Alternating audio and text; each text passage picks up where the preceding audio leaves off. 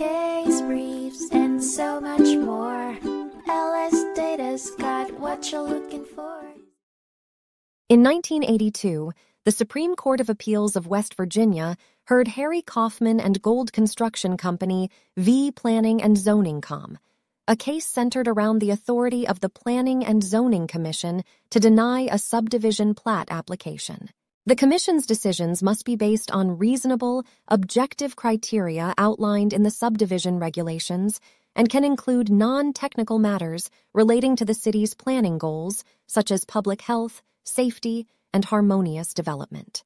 The Fairmont Planning and Zoning Commission initially rejected Gold Construction Co.'s proposed subdivision plat due to technical flaws and compatibility concerns. Watson Hill residents intervened, citing potential property value decline, increased traffic, and negative impacts on local schools. Gold Construction Company redesigned their proposal and presented expert testimony. However, the commission once again denied their application.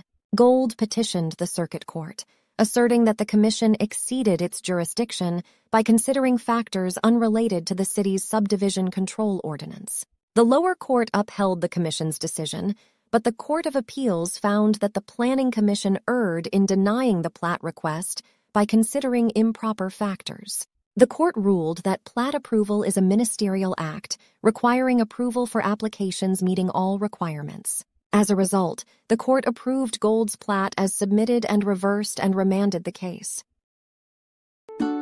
Case briefs, What you're looking for. Visit lsd.law, elevate your mind. Leave the stress of class.